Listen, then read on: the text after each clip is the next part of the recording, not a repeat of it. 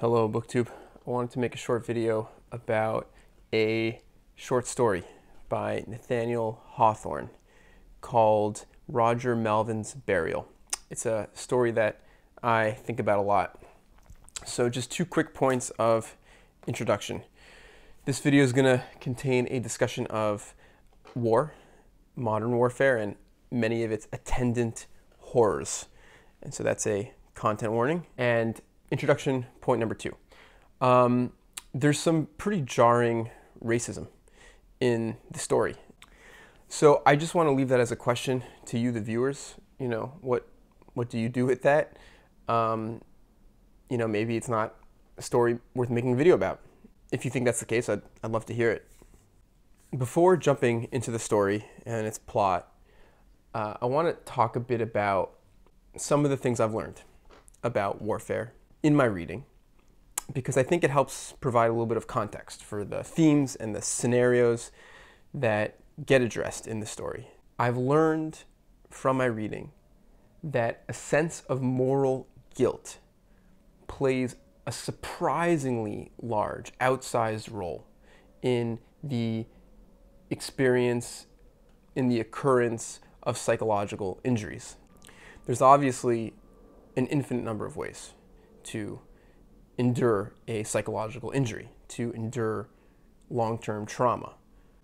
But one of the elements that seems to really exacerbate the effects of trauma, of a traumatic experience, is a sense on the part of a combatant that they are morally guilty. Obviously, in warfare, there's a myriad number of ways to let down your fellow combatants, to not be there when they need you, to fail them. And of course, something which doesn't get spoken a lot about, it's a reality, it's a element of modern warfare. In the fog of war, there's always going to be friendly fire incidents uh, with noisy communication channels and the mess and the noise and the confusion of just a modern battlefield. There will always be accidents and mistakes. In this respect, I'm reminded of a broadcast on Israeli television that I once saw a few years ago. Someone sent it to me, and it really haunted me. It was a segment on Israeli television in Hebrew about how the government and the army is letting down, it's, is failing its soldiers. That you have all these soldiers who come back from war with post traumatic stress disorder and they're not getting the help they need. And this broadcast focused on one particular soldier. The soldier is dealing with crippling, crippling post traumatic stress disorder. It goes without saying that he cannot hold down a job, he cannot focus, he has severe, severe night terrors. And the experience that he had was he accidentally killed a friend of his in battle. And he describes how his friend visits him in nightmares in a ghastly state from beyond the grave and says, What did you do to me? What did you do to me? And it makes life almost impossible. It makes life uh, a living nightmare for this particular soldier. Another part of the broadcast, they, they talk to the soldier and they talk to the father of this other soldier, the second soldier, the soldier who was killed in the friendly fire incident, the soldier who was killed by the first soldier who has the post traumatic stress disorder. So they talk to the father of the second soldier who was killed. And he tells the story and the first soldier also, they, they tell the story together that at the funeral for this soldier who was killed in the friendly fire incident, the first soldier is crying hysterically, sobbing, tears running down his face. And he goes to the father and he says, I killed your son. And the father embraced the soldier and he said, you are my son now. It's okay. You are my son. Ah, another element of warfare, which is not often discussed. I've seen it in a few places.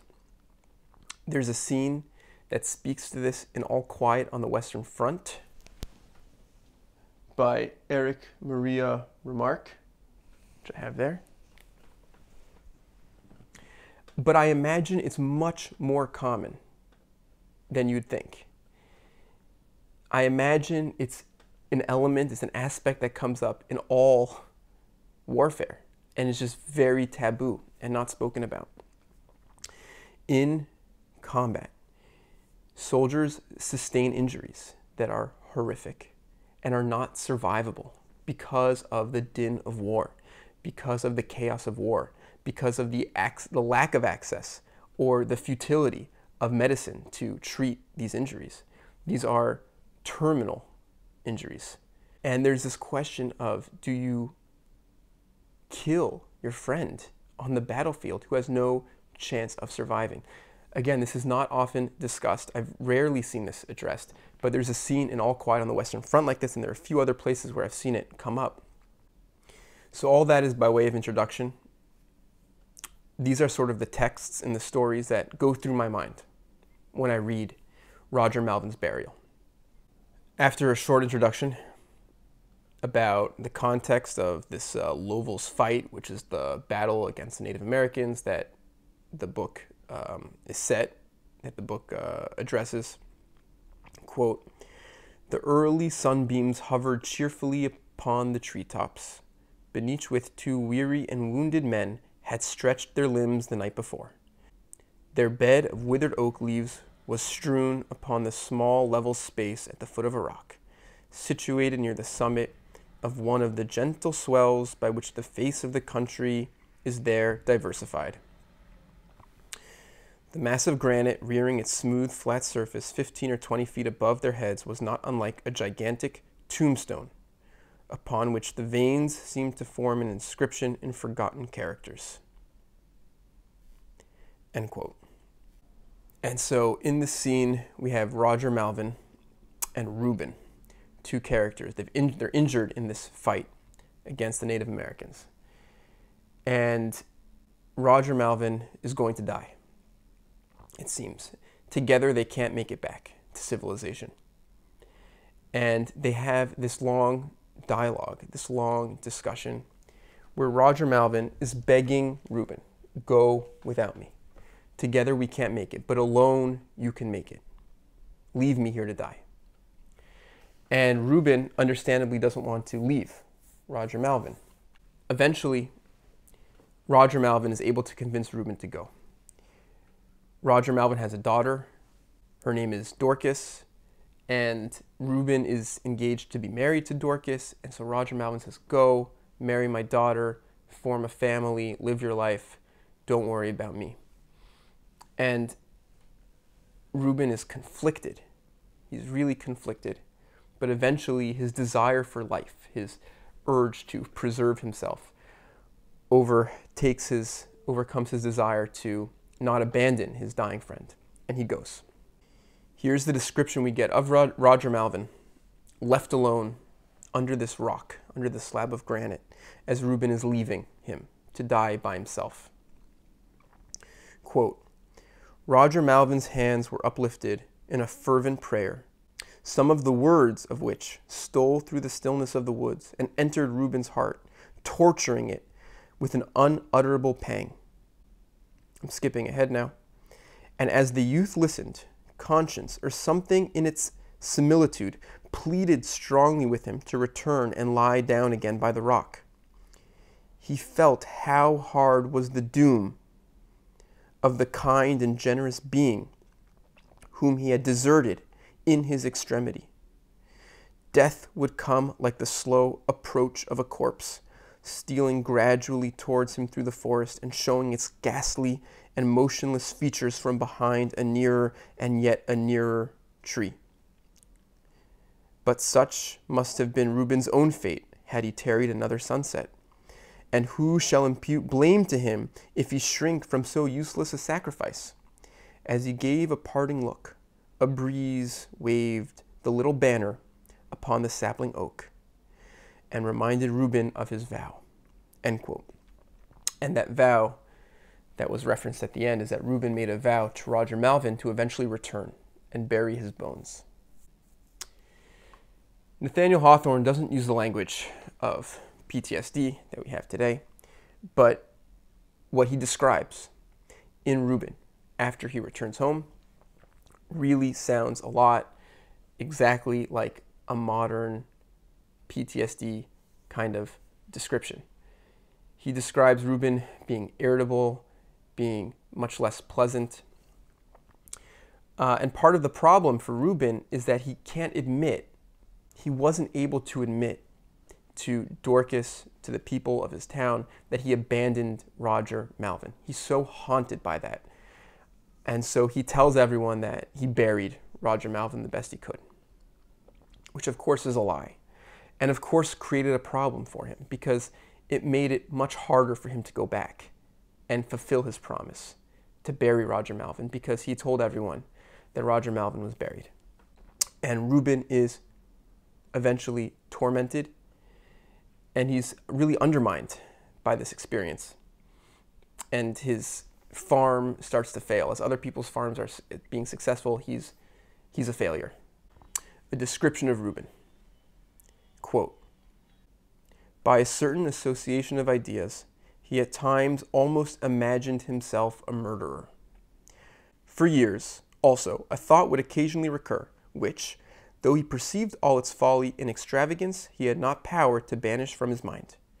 It was a haunting and torturing fancy that his father in law was yet sitting at the foot of the rock on the withered forest leaves, alive, and awaiting his pledged assistance. These mental deceptions, however, came and went, nor did he ever mistake them for realities. But in the calmest and clearest moods of his mind, he was conscious that he had a deep vow unredeemed, and that an unburied corpse was calling to him out of the wilderness. End quote. In Reuben's experience, in Reuben's mind, he's haunted by a ghost. I'm also reminded of a scene in one of my favorite books about modern war, Dispatches by Michael Herr.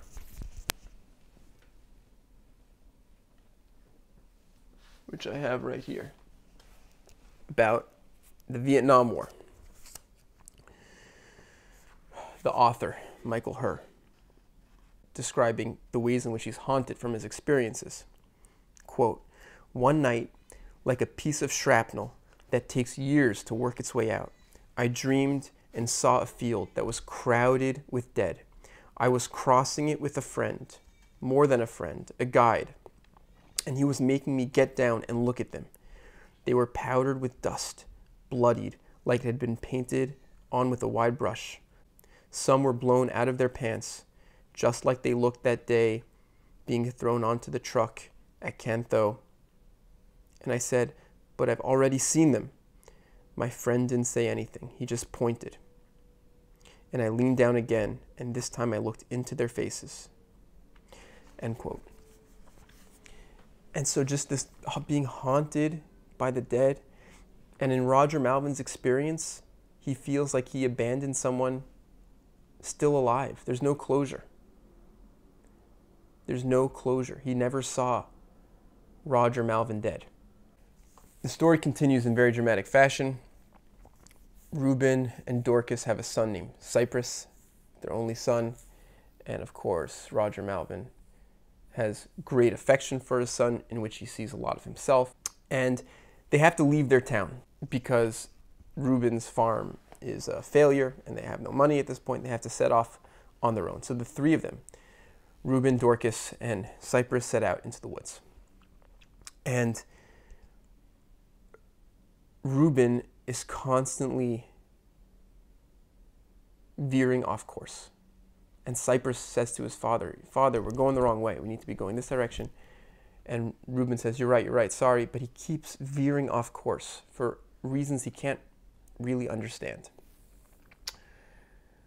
And at one point, after they sort of stopped trying to correct course, and they've been veering off course for a while now, they stopped to make a camp. And Dorcas is going to cook some food and boil some water and make a fire, and she's singing happily, and her husband and her son go out to hunt, to kill a deer for their meal. And Reuben and Cyrus go off in separate directions.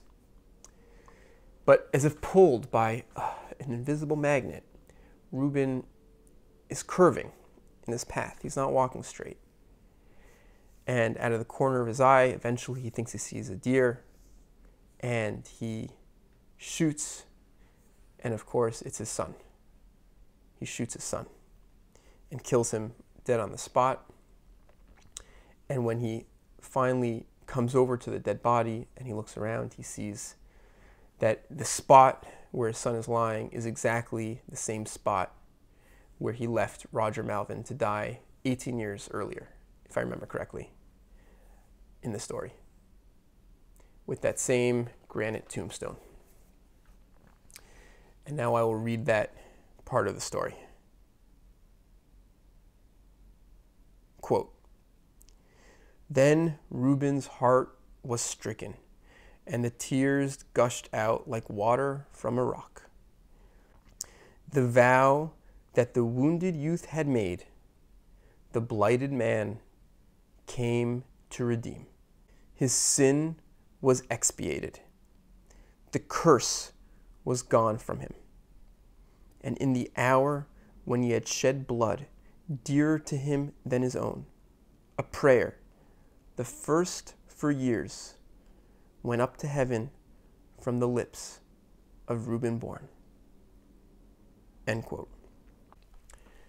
And that's the end of the story. And it's it's a tough ending. It's obviously a troubling ending. It's sort of hard to make sense of for me. You know, why why does killing his son expiate the sin? Where does that come from? Like what's just going on psychologically speaking? But what seems to me to be relatively clear is that in Reuben's mind, he left a man to die and like a vengeful God. That man that he left to die.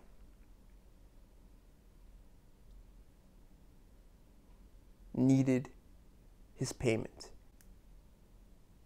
in the accidental sacrifice of his own son. He pays that debt. Thanks for watching.